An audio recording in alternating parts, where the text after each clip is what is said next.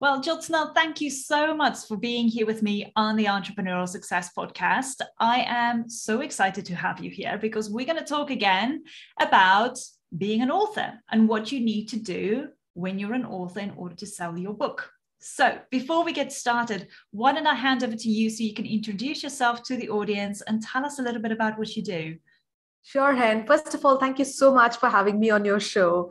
Uh, my name is Jyotsna Ramachandran. I am the founder and CEO of Happy Self Publishing. Uh, we are on a mission, um, you know, to impact the world one book at a time and raise the overall consciousness of the world through the books we publish by helping purpose-driven entrepreneurs who are too busy to finish their manuscript. So we just want to help them in the easiest possible way to publish a best-selling book by packaging their expertise into a book. So that's what we do at Happy Self Publishing. I know, and I love that because you know, as as my audience know, I'm on my journey now to write a book as well. But oh my gosh, there's so much to think about, and I think that is what's stopping so many people from actually getting their book out there. However, right. I want to learn a little bit more about your story. How did you get started? How did you become a best-selling author? How did you start up this business? Well, I think the biggest uh, turning point in my life was when I became a mom. I had actually only a couple of years before I became a mother, I had started my first business, which was into staff recruitment. And it was really running well. And I thought that this is going to be a million dollar company. I'm super excited about growing this company. And then I had the baby, right? And then everything started to change around me. My priorities started to shift. And I started feeling very guilty about running that business, which really needed a lot of my time. I had to mm. keep going out and attend these meetings, which was not suiting my new role as a mom. So I had this worry if I sh- should just stop doing whatever I'm doing and just be a good full time mom, or if I can just balance both the roles. And I was thinking maybe I can do a good job if I can run an online business so that I have more flexibility. Mm-hmm. So I mm. started just finding different ma- ways to make money online. I was just Googling different options. And I kept coming across this opportunity where I saw a lot of people, especially in countries like the US and Canada, um, and even in the UK, where they were finding these great topics and putting together short ebooks written by ghostwriters. And they would just keep marketing these books and make money as royalties. And I felt that this is something I would like to try. So I did a bunch of online courses on how do you get started with Kindle publishing. This was about seven years ago. So back then, this was like a gold mine. There was very little competition on Amazon, and whatever topic you put out would sell. So in six months, I had about 50 titles, and that made me more money than my recruitment agency. So I shut that down and I started focusing on this. And it also gave me the courage to write my first book. Mm. Up till then, whatever was published was written by other writers. But I thought that my journey is also worth sharing because a lot of moms had started asking me how I managed to quit my job and do something from home while being a stay at home mom. So I wanted to just share my journey of leaving my job. So I wrote my first book called Job Escape Plan. And that completely changed everything for me, Hen, because for the first time, my voice was getting heard. And that was so full, much more fulfilling than the royalties I was earning from Amazon because those books were written by somebody else. I didn't even know what they were about.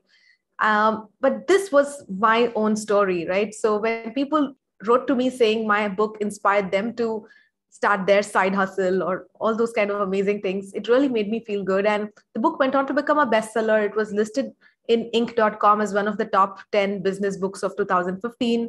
And after all that recognition, people started asking me how I can help them to publish their books. And this felt great because I knew how it felt to become an author, right? And I wanted to pass on that feeling to others. And luckily, because of those ghost written books, I had a team of uh, writers, I had a team of cover designers, editors, and formatters. So I thought, why not just use this great team? But instead of helping me publish more and more books, let me just serve other authors who had this real story or you know message or knowledge to share with the world so that's how happy self publishing was born it's been 6 years now we've helped more than 500 authors from 35 countries and it's been a very fulfilling journey so far. Oh, I love your story, and it's so motivating listening to it. And you know, I think one of the things that I that I definitely take away from from your story is you know you start one thing and you think this is it. This is going to be the one thing that i'm actually going to enjoy enjoy. And then life throws you a curveball and then you just completely pivot it into something else. But you ended up just going on this journey and just saying hey let me see where it takes me. But you still kept going. And i think you know for a lot of people listening to your story they can hear that it wasn't just one direct line but let's face mm. it that's life life is not just a direct line there's so many opportunities so many different things that's going to happen so for those of you listening to this or watching this video um you know definitely take from Jyotsna's story because anything can happen in life. It's just how you keep moving and taking on opportunities and thinking bigger and just falling in love with what it is that you want to do and accomplish at the end of the day. And I think, you know, this is where um, Jyotsna becomes so successful because not even did she just establish a great business, but equally, she's a best selling author, which a lot of people aspire to be. So, this is where I get really excited because I want to talk to you about this I think you know everybody thinks about becoming an author. You need to write a book, and and then mm. that's it. And you know, then you got to market it.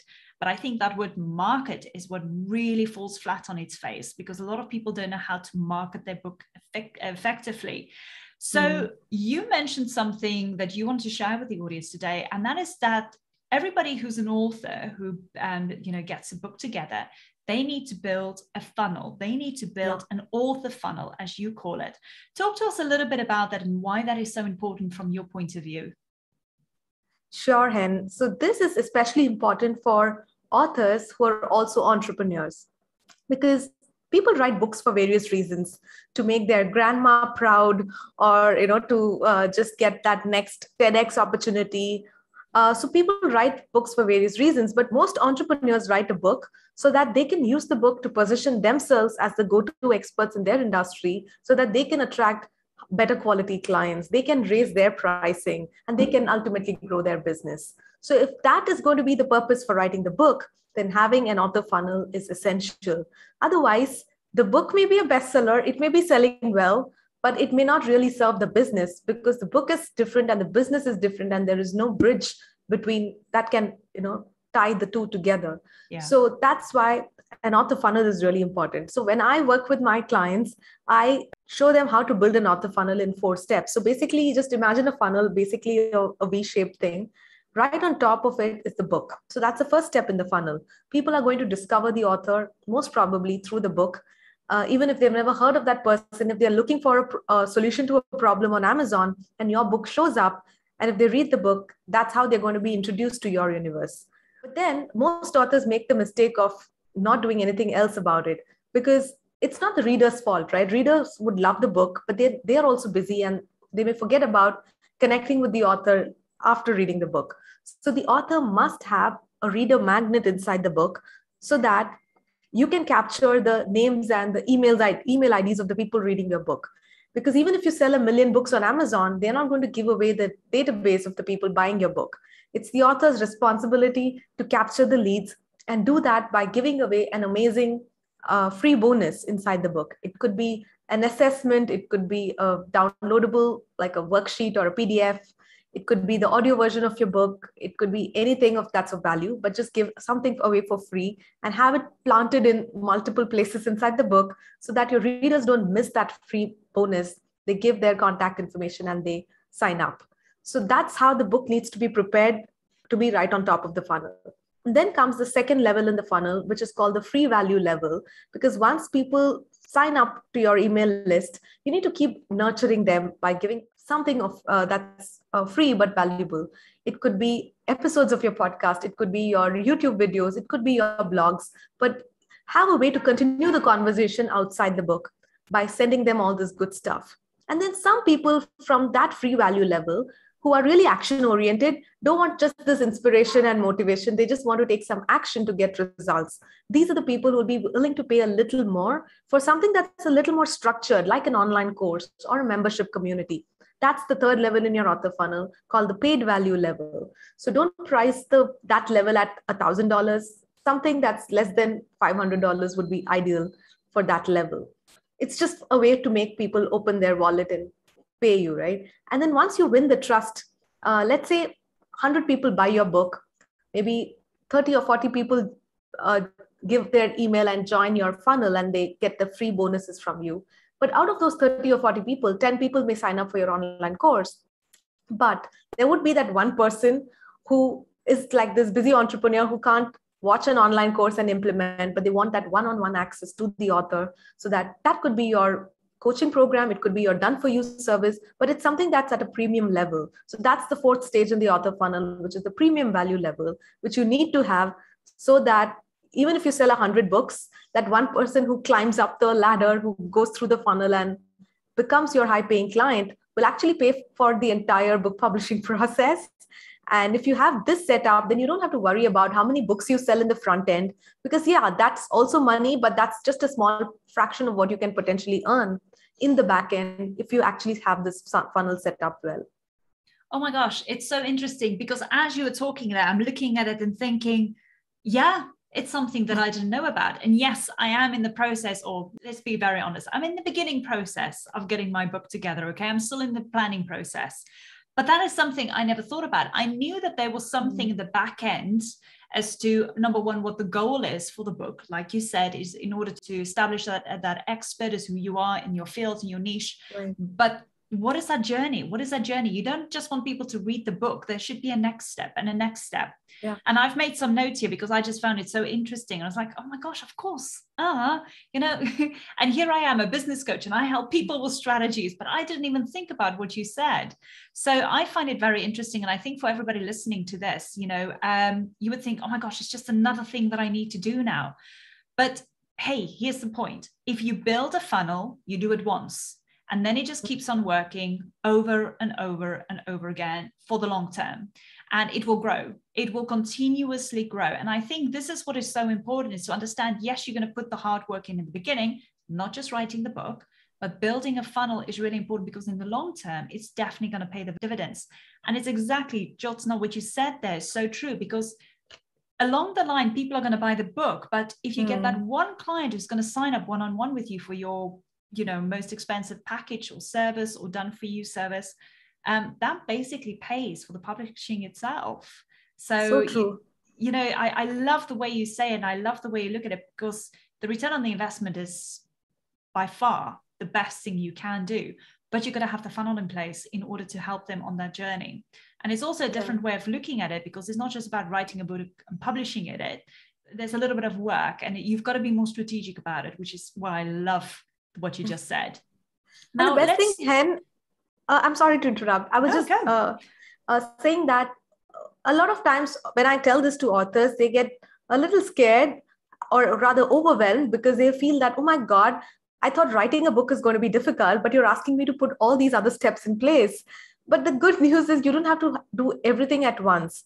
I'm not saying that as soon as you launch the book, you need to have a perfectly working funnel you probably have a few steps already. You may already have your podcast or you may already have your coaching program. You just need to tie these things together. And if you don't have any of these things in your funnel, start building one thing at a time. Like I had a client who was a fitness enthusiast. He was actually in an IT job. When he wrote his book, he didn't have a business, he was working full time. But two years later, when I interviewed him, he had all the steps in the author funnel in place because he launched one thing after the other and hmm. now he was in a comfortable position to quit his job and focus on his fitness business because he had the funnel yeah no i love how you put it in perspective you know it makes so much more sense and thank you so much for sharing that because like i said I just had a light bulb moment myself as you were talking through these things. And that's why I enjoy having this conversation with you because I learned so much from you as well. And I and I that's why I'm so excited to share this with the audience because I'm sure everybody else is getting some light bulb moments as well. Now, I think the other thing that I want to share with uh, or ask you really and share with the audience is people always say, oh my gosh, I've just been, you know, an Amazon bestseller and everybody's so happy about having that little star next to their name. um, but how do you become an Amazon bestseller? And, and let's face it, you know, a lot of people are out there thinking about self-publishing. But from your perspective, what can you tell people about becoming an Amazon bestseller? Sure. A lot of times authors feel that reaching the bestseller charts is not easy for a first time author because you don't probably you don't have a huge audience people are not waiting in the queue to buy your book so how does one become a bestseller people have this wrong um, notion that they need to sell thousands of copies to become a best-selling author. That could be true if you're aiming for a Wall Street Journal list or New York Times or something like that. But for Amazon bestseller charts, that's not the case. Let me first explain the algorithm behind how Amazon prepares this list. So every one hour, this list is updated. That's a good thing. Unlike other charts, which are prepared on a weekly basis, Amazon list is updated every one hour. And it's not just for the entire Amazon store. Otherwise, you'll probably have to write a Harry Potter to reach the number one position. But this uh, list is available for every single category and subcategory inside Amazon. So technically, if you actually reach a small little subcategory, and even if you're one among the 100 top books, you can call yourself a best-selling author. But if you put in a little bit of more effort, then you can actually reach the number one position in a bigger category because that will increase your visibility and credibility. What we teach our clients to do is first make a list of all the relevant categories for your book. And it's important to be relevant because if your book is about productivity and you place your book in some candle making category, you may still hit the bestseller charts, but then you won't feel good in, from the inside because that's not relevant to your topic. So make a list of all the relevant categories and then find the ones that are not very competitive. Like if Tony Robbins has his book in the number one position in, say, money management category, then you probably don't want to be in the same category because it's going to be very difficult to outbeat that book. So hmm. have a couple of popular categories, but also have a couple of not so competitive categories. So once you have these categories in place, make sure you have everything else looking good, like your cover, your you have at least 10 or 20 good reviews for the book. You have a nice book's description. So let the book look nice uh, because when you're going to send traffic, it needs to get converted, right? So make sure you have all the conversion elements in place. And then it's time to send the traffic to the book because our goal is to make sure that the book sells the maximum number of copies that it can within a short span of time. Mm-hmm. So the key is this instead of selling, uh, let's say, 500 books in a month's time, it's okay even if you sell 400 books, but if you can do the maximum sale within a week's time, the speed at which the book sells will help you reach the bestseller charts. So the total number of books doesn't matter, but the speed at which it sells and the category that it is placed in, that's what is going to help the book reach the number one position. So now when it comes to sending traffic to the book, you need to make use of both your audience and other people's audience because only your audience may not be enough. So definitely start preparing your launch team members. Let all the people on social media know about your book launch. Let your email list know about the upcoming launch. So that's your audience. But also uh, tap into other people's audience. One way is to go on other people's podcasts and talking to their audience. Or if you've interviewed, let, let's say you've, you've interviewed 10 people in your book, they will be happy to share the book with their audience as like a token of thanks. And also make use of promotional websites. We predominantly depend on promotional websites because a lot of times our clients have zero audience and zero network. So they just want to uh, do whatever we can to support the launch. So these promotional websites basically have a long email list of uh, regular buyers of uh, books on Amazon. So they would send uh, notifications to their audience saying, hey, today this book, which is newly launched, is offering uh, the book at a discounted price.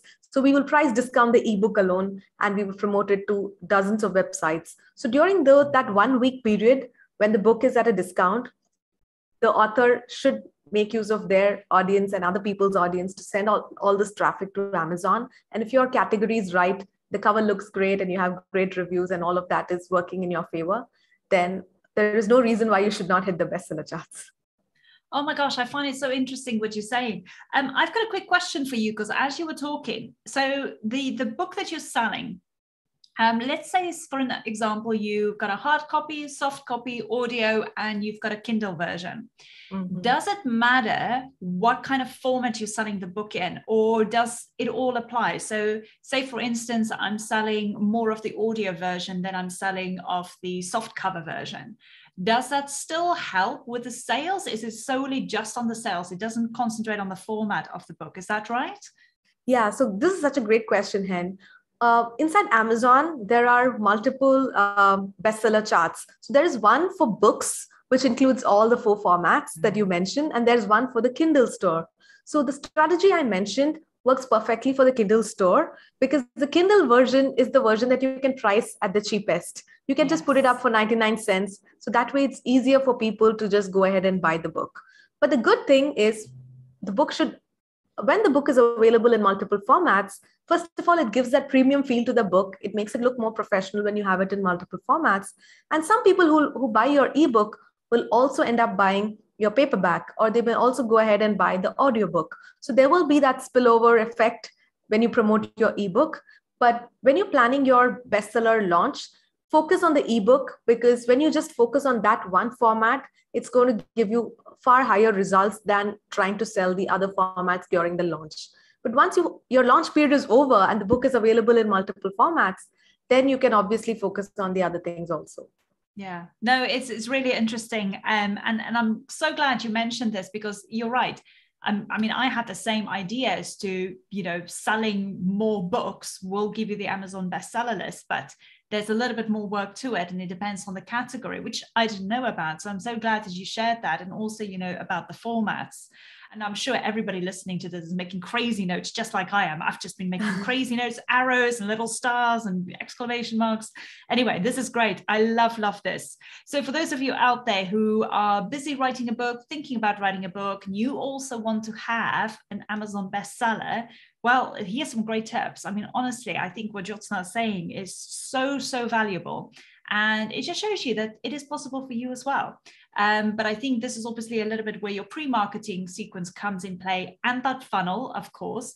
The pre marketing is telling everybody beforehand that you're writing a yeah. book and um, getting them curious. So when your book launches, you have that influx of traffic coming then coming to buy your book. So people are almost like waiting for the doors to open so they can go and buy your book. So be very, very aware of that as well. The pre marketing sequence is very important when it comes to publishing your book. So here's another thing that I wanted to ask you about. Um, this is something also which I think the audience would really want to know because everybody's talking about self-publishing these days and you know you don't yeah. need to work uh, or most people don't feel that they want to work with somebody because let's face it most people won't have the funds to work with a, a publisher etc but those who are thinking about self-publishing in particular are there any tips as to what you can share with them about what mistakes they should avoid because i think this is the big thing. We all feel like oh my gosh i can self-publish but what if i make all of these mistakes? Or what if i do this wrong? Yeah. or what if i do that wrong? So from your experience what mistakes um, have people made in the past that the listeners can avoid? Yeah this is such a good question hen. So when somebody decides to self-publish it's a great thing because it has all these advantages. But the only problem is you don't have the expertise or the backing of a publishing house who've published thousands of books, right? So they kind of know what works and what doesn't work, and you cannot tap into their knowledge bank when you are going to do it yourself. So there are a few things that one must be careful about. Firstly, is selection of the topic itself, right? The, and the way you position the book. A lot of times, self published authors make the book all about themselves because obviously the first reason why you want to write your book is because you know that you've gone through a journey, you have some kind of an experience, and you're eager to share that with the world. So, a lot of authors make this mistake of writing a memoir or an autobiography about their life journey. And to be honest, unless you are a celebrity who comes on television or you're a, an Instagram influencer, nobody really cares about your life story. Though it may be really valuable, it may not attract your reader's attention. So, you need to just uh, flip it and position it uh, keeping in mind what the reader needs. So you might probably have gone through a cancer journey and you would have been a survivor, uh, a warrior, but then uh, don't just talk about your life, but make it about the reader, uh, like, you know, the four pillars to take care of your uh, health or something like that, like to overcome a particular challenge. So that way they know that this book is going to help them. And inside the book, obviously share about your story make it about uh, the beautiful life experiences but just don't make it only about that. Position it for the reader. So that's one thing that i see as a mistake that a lot of self-published authors do. Uh, the second thing that i want to share is uh, during the publishing process when you self-publish it doesn't mean you need to do everything yourself right? You may not want to wait for a publisher to approve your manuscript. You don't want to wait for five years to have your book published. That's why you're self-publishing but that doesn't mean you need to edit it yourself. You need to use canva to do your cover design if you're not a designer. You need to actually work with a, a team of professionals so that your book doesn't look self-published. It should look like a new york times bestseller even if it doesn't reach those charts right? And for that there are a lot of um, professional freelancers or agencies like happy self-publishing who have a team of people who've done this so many times there are people who've previously worked in publishing houses and are now working with publish, self-publishing agencies who can take care of all these important steps. So as an author you preserve your energy on probably writing the book or uh, marketing the book and things like that and not worry about everything else in the publishing process. Yeah. Uh, and another important mistake that a lot of authors make is they focus a lot of their uh, time in marketing the book during the launch but after the book is launched they move to the next project. They want to launch a webinar they want to launch a course and they forget that they've written a book. The good thing about a book is it's an evergreen marketing tool. Once you're an author you will always be looked upon as an author if you keep talking about it. So have an evergreen marketing strategy using the book, whether it's going on podcasts regularly or running Amazon ads, keep doing something to promote the book because otherwise the you're not going to get uh, people on top of your funnel so that they finally end up you know buying all the premium things that you have to offer right so don't stop marketing the book with the launch do it for a longer duration of time yeah, no, oh gosh, those are great, great tips. You know, and I think in particular for those who who wants to self-publish, um, there's nothing wrong with self-publishing, but you're only as good as what you know. yeah. So um, my suggestion is just at least for those of you listening and wanting to go into self-publishing, like I said, nothing wrong with that. But go and talk to a publisher and talk to go and talk to Jyotsna and, and just have a conversation with her and see, you know, what it is that she can offer you and because of her experience, because of the team that she's got. And you might actually resonate with some of them go, actually, you know what? I don't want all of this hassle. I've got stress enough as it is just trying to write my book. I don't want to have the stress of going into publishing and making sure that it hits all the charts, etc., etc. Um, so, in that kind of sense, it might just be worth it to do that investment to work mm. with a mm-hmm. publisher um, and I think the process just becomes a bit more enjoyable because at the end of the day, then you're going to get things done quicker instead of sitting on this book for five years, maybe more, mm-hmm. and not getting it out there. Um, so, yeah. No, honestly, Jyotsna, this was absolutely amazing. I've made so many notes. Actually, I had to change, turn my paper around because I ran out of space. honestly, it was so amazing just to hear you talk about this and sharing your expertise here with us. So, thank you so, so much. However, before we conclude the episode, you've got an amazing boot camp. And I think for those people listening now, their ears are pricking up and going, oh, what is this about? Talk to us a little bit about your boot camp and what they can expect there. And then we'll give the details to the audience of where they can sign up for it. Sure, Hen. So a few months ago, I realized that we only work with authors who have their manuscript ready or who are who've already started that process and we help them with the next steps but there are so many people out there who have that amazing book inside of them but they just don't have the confidence and the clarity to get started so i thought that the initial few steps like choosing your book's topic becoming absolutely clear about your purpose designing your author funnel before you write the book getting clear about who your reader is those are some critical steps before you actually start writing the book. So the bootcamp has been designed to give you clarity on those aspects. So I do this live inside my Facebook group every few months. But for those of you who don't want to wait till the next bootcamp, I have the replay of the previous one. So you can go and check it out at happyselfpublishing.com forward slash bootcamp. And that will give you the uh, instant access to the five day bootcamp that I just did last month. And if you also want to be a part of our Facebook group where you can interact with other authors, ask me some questions directly, then you can check out Happy Authors Tribe in Facebook. So the quick link to that is happyselfpublishing.com forward slash tribe. It will redirect you to our Facebook group. Join that and let's continue this conversation about writing your book.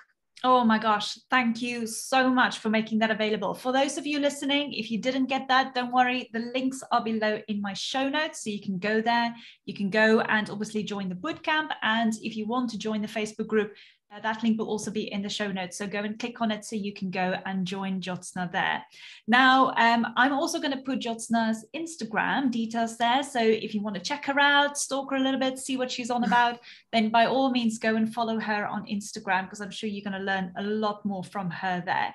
And for those of you listening, just keep on going on this journey. You know, if you're thinking about writing a book, um, if it's been something that's been playing in your mind for a while, just start doing it. Honestly, start talking to people such as Jyotsna. Uh, I just said your name wrong, Jyotsna. I knew I was going to do this. just go and talk to people and just find out what it is that you need to start doing in order to get your book out there. Don't hesitate, don't procrastinate because, you know, 10, 15 years down the line, you're going to go, gosh, I should have really done this. And then you're going to regret it so badly. So, um, all the resources are there. There are amazing people out there to help you, just like Jyotsna. Just go and follow her, see what it is that she has to offer. And I'm sure she would love to have a conversation with you if you want to, um, you know, get in contact with her and have a chat. Jyotsna, thank you so much. I really appreciate it. I just love this conversation. Like I said, I made so many notes. If I feel like this, I can just imagine how the audience are feeling right now. So uh, I really appreciate thank you. So you much, thank Hen. you so much for coming on. My pleasure, Hen. I really love meeting you today and having this great conversation. Amazing. Thank you so much. So, for everybody listening, go down to the show notes, go and sign up for Jyotsna Facebook group, and also go to um, her bootcamp and check that out as well. Thank you so much, Jyotsna. We'll be in touch very soon.